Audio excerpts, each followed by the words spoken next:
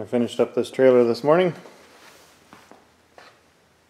So pretty much a standard tandem axle half round as you can see with the tarp added.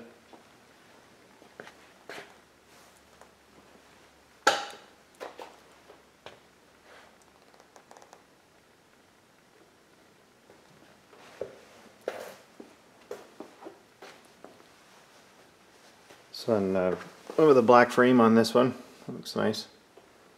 I think, uh, pretty sure the other couple white ones that I've had done have all had white frames and then uh, black suspension and support legs and all that stuff. So this one, nice contrast. At least, uh, at least it looks like the support legs and everything sort of blend in now. Whereas when they're on the white, to me anyway, it kind of looks like everything was an afterthought, and it's nearly impossible to match any kind of paint perfectly to the powder coat. I think so. Probably better off going this way in my mind, but it also look I don't know, I guess it looks okay with the white black contrast on the chassis stuff, but I like this one personally.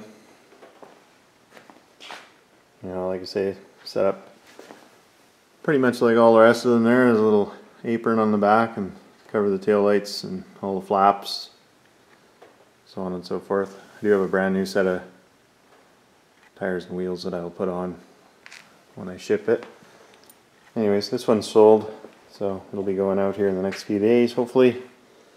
Get it boxed up, and uh, yeah, I just wanted to post up an update here. This is what I've been up to for the last little bit.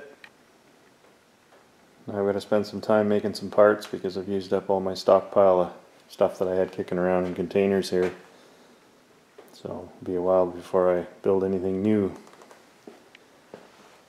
But anyways, yeah. Thanks for watching. Hope you like the trailer.